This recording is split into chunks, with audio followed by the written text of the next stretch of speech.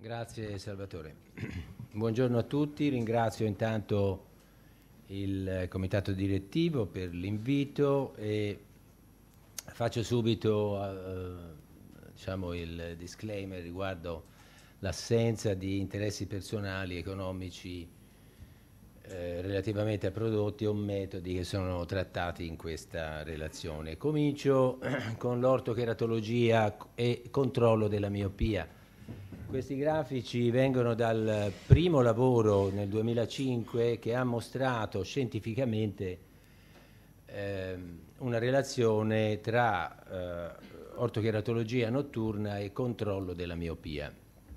Il lavoro terminava, non mi soffermo molto su questi lavori perché l'argomento eh, è collegato, ma come vedremo è un po' diverso. Quindi, e poi c'è un altro relatore che mi segue che parlerà abbondantemente di questo argomento eh, meglio di quello che posso fare io ora. Ehm, la conclusione di questo, mi interessa sottolineare questo aspetto, la conclusione eh, di, di, questo lavoro diceva i genitori possono considerare l'ortocheratologia come un'opzione per rallentare la progressione miopica nei loro figli. Questo già nel 2005, un, eh, diciamo, un messaggio che è stato poco, credo, eh, raccolto e divulgato, quindi a me interessa molto divulga di, divulgarlo questo. Eh, da allora sono stati fatti moltissimi lavori che io, ripeto, non prenderò in esame, vi faccio vedere qualcosa molto rapidamente. Questo per esempio è un lavoro del 2011, uno studio randomizzato, eh, come vedete eh, 105 bambini, 45 corretti, 60 come gruppo di controllo corretti con occhiali, ehm, si vedono lì i valori della lunghezza assiale eh, nei due gruppi, da questi risultati si evince come ancora una volta eh, il trattamento ortocheratologico rallenti la progressione miopica. Anche qui le conclusioni sono quelle indicate qui in giallo, l'ortocheratologia riduce la, l'allungamento assiale nei bambini miopi eh, suggerendo che questo trattamento possa essere utilizzato per controllare la miopia.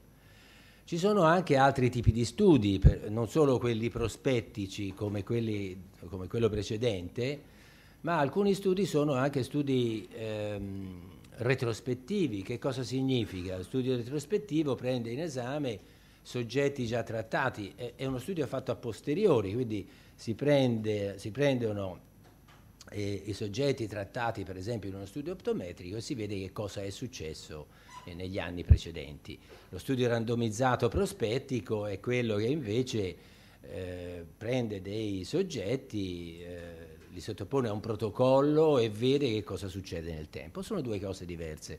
Negli studi eh, retrospettivi, che dal punto di vista scientifico forse sono considerati un gradino al di sotto di quelli prospettici randomizzati, eh, negli studi retrospettivi, secondo me, c'è un grosso uh, vantaggio, un aspetto molto positivo, e cioè che sono soggetti che hanno scelto di fare quel trattamento. Sono soggetti reali, eh, non dico che gli altri non sono soggetti reali, ma eh, diciamo, l'impostazione è diversa e, e anche i risultati sono un po' diversi, proprio perché qui c'è stata una selezione. Infatti, in questo studio, sette anni, di trattamento di ortocheratologia, come vedete il contenimento della miopia risulta essere addirittura, la riduzione della progressione miopica risulta essere addirittura dell'80%, quindi un valore molto molto elevato.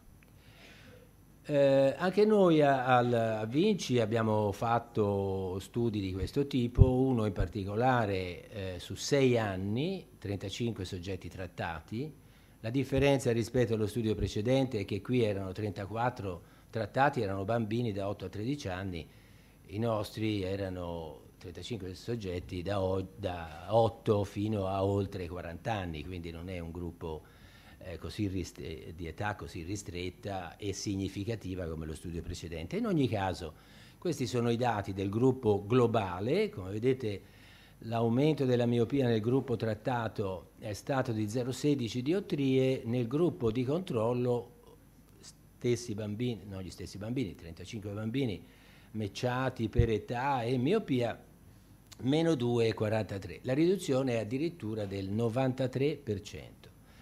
Però qui, eh, ripeto, sono soggetti che vanno da 8 a 42, mi pare, adesso eh, comunque oltre i 40 anni. Se prendiamo i 13 soggetti bambini da 8 a 13 anni, le cose vanno un po' diversamente, la miopia aumenta un po' di più, 0,38 nel gruppo sperimentale, ma meno 3,88 nel gruppo di controllo e la eh, riduzione della progressione è comunque del 90%, una riduzione molto alta. Ma la domanda è perché l'ortocheratologia funziona? Qualcuno ne ha già parlato ieri, quindi no, non mi dilungo. Eh, si pensa, o comunque si discute riguardo il fatto che eh, il motivo per cui l'ortocheratologia fa aumentare di meno la, la, la, miopia in un soggetto che sia già diventato miope, quindi si sta parlando di progressione e non di insorgenza della miopia, possa essere la miopizzazione periferica indotta dalla, eh, dalla, eh, dalla, dal trattamento ortocheratologico. Vedete nel grafico, in questo grafico come l'effetto della correzione degli occhiali che compensa la miopia nella zona centrale ma a causa della curvatura di campo crea una ipermetropia periferica cosa che non succede con l'ortocheratologia. Questo eh, anello, un anello, il, il, ginocchio molto curvo che si crea tra le due zone di appoggio, quella centrale e quella periferica, eh, crea una, sulla retina un anello miopico, ovviamente, eh, e questo si pensa sia la causa per cui la miopia eh, aumenta di meno. Eh, in effetti che questo avvenga sulla retina, qui c'è un lavoro che ha, ha evidenziato questo aspetto e, e come vedete qui eh, si dice come al centro con l'ortocheratologia nella zona centrale retinica si abbia una correzione della miopia, ma oltre i 25 gradi del campo visivo si ha uno shift miopico, quindi una miopizzazione evidente e questo appunto sarebbe eh, l'effetto dell'ortocheratologia sulla progressione della miopia. Ma allora la domanda che, viene, che dovrebbe venire spontanea, credo, è questa. Perché non cercare di ottenere lo stesso effetto eh, con le lenti morbide? Morbide, morbide progressivo, centro, eh, lontano. Perché ovviamente nelle morbide progressive centro-lontano abbiamo una situazione abbastanza simile, una zona centrale corretta con la miopia corretta, una zona periferica, medio-periferica, in cui c'è l'addizione e quindi questo provoca una miopizzazione nella parte eh, paracentrale o paraperiferica, che dir si voglia. E in effetti sono state utilizzate, ci sono moltissimi lavori, ancora una volta io non, non vi presento molti lavori, io vi presenterò dei dati sperimentali che abbiamo raccolto all'IRSO eh, su questo argomento. Però vi, vi eh, voglio far vedere questo perché è uno studio diciamo, ben fatto, sono 40 partecipanti, come vedete 27 solamente hanno portato a termine il, il lavoro. Eh, diciamo quello che c'è da sottolineare sono due cose. Primo il fatto che è stata utilizzata una lente commerciale, una lente che è in uso normalmente per la correzione della presbiopia, non finalizzata a, a questo scopo, allo scopo di contenimento della miopia. Quindi è una lente con l'addizione di più 2, una Cooper Vision multifocal eh, center distance. E l'altro aspetto che voglio eh, sottolineare è che il risultato è stato che abbiamo avuto un 50, cioè abbiamo avuto chi ha fatto questo, in questo studio si è avuto un 50% di riduzione della progressione miopica. Non sono i numeri che abbiamo visto con l'ortocheratologia, ehm, quindi sono un po' più bassi, però comunque il risultato è, è, direi è, è notevole. No? Allora l'idea è, ma lente, queste lenti danno un profilo refrattivo simile a quello dell'ortocheratologia oppure no? Cioè l'effetto che queste lenti hanno è dovuto veramente alla miopizzazione periferica o potrebbe essere dovuto ad altri fattori? Eh, queste lenti danno un profilo che è paragonabile a quello di, di un trattamento ortocheratologico oppure no? Allora, questo è il setting che noi abbiamo nel laboratorio a Vinci, c'è un arco che vedete qua giù in fondo a questa stanza, un arco con una, un raggio di 3 metri, al centro di questo raggio è posto l'autorefrattometro a campo aperto, su questo arco c'è un ottotipo che si muove eh, dal centro verso la periferia, a destra e a sinistra, o di 5, di 10 gradi, lo possiamo muovere di quanto vogliamo, il paziente segue la mira fissa quindi mh, mm, lateralmente, eccentricamente e con l'autorefrattometro misuriamo la refrazione al centro e poi via via a varie angolazioni fino ad un'angolazione massima di 30 gradi. Eh, questi, questi, lavori sono cominciati, il setting è stato preparato nel 2014, quindi sono già diversi anni, sono già eh, più di tre anni che lavoriamo eh, su, questo, su questi temi.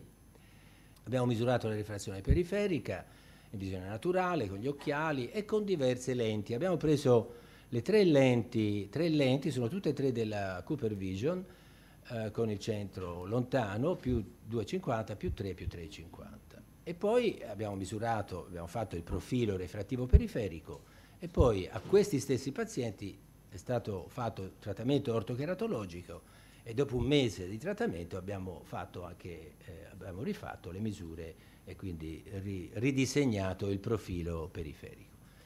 Questi sono i risultati. allora, eh, lasciamo perdere queste qua su, queste qua su sono le curve della, degli occhiali, delle lenti monofocali, vediamo le lenti multifocali, sono queste, vedete 2,50, 3, 3,50, sono queste tre.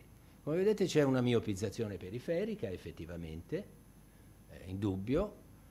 Eh, c'è solo in un versante, nel versante tempiale, in quello nasale sembra che non ci sia, questo è un, è un aspetto da, da, controllare e da approfondire. Io credo che dipenda dal fatto che la lente multifocale non sta perfettamente centrata e, eh, ma si muove lateralmente dovuta alla differenza di profondità sagittale che c'è tra la parte eh, nasale e la parte tempiale dell'occhio, perché c'è una differenza, l'occhio è ruotato in qualche modo e quindi la, la profondità sagittiale non è uniforme tutto intorno al, al limbus. Ma se io adesso ci metto sopra la curva dell'ortocheratologia, che cosa viene fuori? Eccola qua. Questo è il profilo periferico degli stessi pazienti dopo trattamento di ortocheratologia. Come si vede, la miopizzazione è molto più accentuata. Quindi eh, che cosa abbiamo fatto? Abbiamo misurato anche, abbiamo fatto un'altra misurazione, abbiamo utilizzato non in tutti i pazienti, in tre pazienti, tre soggetti di, quei, di quelli precedenti, abbiamo utilizzato una lente con un'addizione, una lente che non è sul mercato, un design proprietario, eh, che ha un'addizione uh, superiore a 3,50, questa qui aveva anche più di 4 uh, diotrie. E, e, che cosa è venuto fuori? È venuto fuori che questa lente dà, come vedete, una, questa è la lente di, 3,50, di superiore a 3,50, dà effettivamente una miopizzazione molto più accentuata. E se ci metto la curva eh, sempre dei tre pazienti riferita al trattamento ortocheratologico, eccola qua, vedete nella parte tempiale si sovrappone perfettamente, nella parte nasale come vi dicevo, nell'ortocheratologia abbiamo la, la, la, miopizzazione, con le altre lenti sembra che ci sia appunto una, un difetto di miopizzazione, probabilmente dovuto alla, alla, allo spostamento della lente. Quindi le conclusioni che, cosa, che possiamo trarre, quali possono essere? L'ortocheratologia eh, provoca una miopizzazione periferica che può spiegare, secondo eh, molti autori, può spiegare la riduzione della progressione. Le lenti multifocali centro-lontano ugualmente provocano una miopizzazione periferica, anche con queste si ha una riduzione della eh, progressione miopica, ma eh, si ha una, un effetto in qualche modo inferiore. Si può ipotizzare che per avere una miopizzazione, che per avere una, un controllo sulla miopia come quello dell'ortocheratologia così elevato, abbiamo visto l'80-90% di, ri, di, riduzione della progressione miopica, con le lenti a contatto multifocali o a, disegnate apposta per questo scopo, naturalmente, eh, si debba ottenere un profilo periferico uguale a quello dell'ortocheratologia. Se vogliamo ottenere questo, la, la, l'addizione deve essere superiore a 3,50 e dovrà probabilmente anche essere eh, customizzata, cioè fatta su misura probabilmente per i diversi pazienti